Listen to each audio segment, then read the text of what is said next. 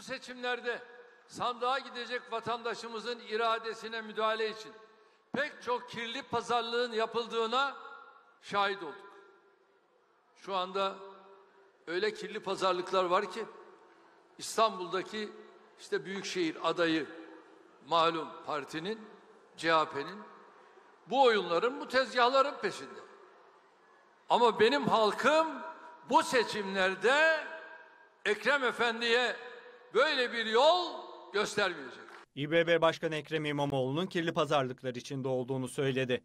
Kazanmak için değil kaybettirmek için çalışanlar masum değildir sözüyle muhalefete tepki gösterdi. Kimi partiler kendi seçmenlerinin oyunu adeta işporta pazarına çıkardı.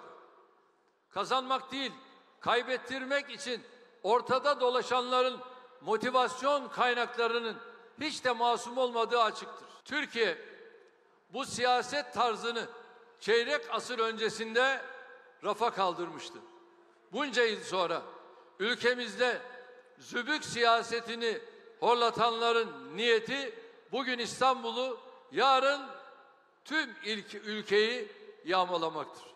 Cumhurbaşkanı Erdoğan sandık yönetim kurulu ile iftarda bir araya geldi. Konuşmasında pazar günü yapılacak olan seçimlere ağırlık verdi. Provokasyonlara karşı uyardı. Seçim günleri her türlü yalana, provokasyona, operasyona açık günlerdir.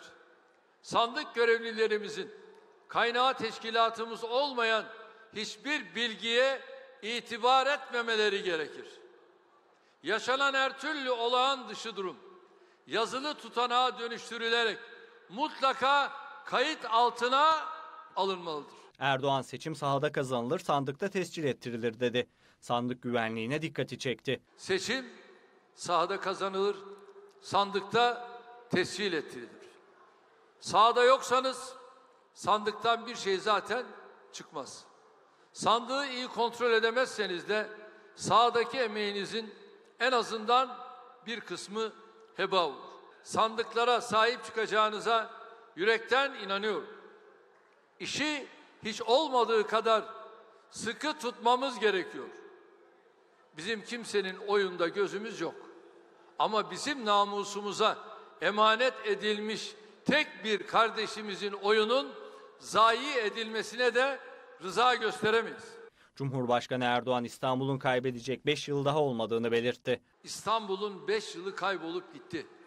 İnşallah bir 5 yılı daha aynı akıbete uğratamayız. İnşallah biz Allah'ın izniyle muradımıza ereceğiz.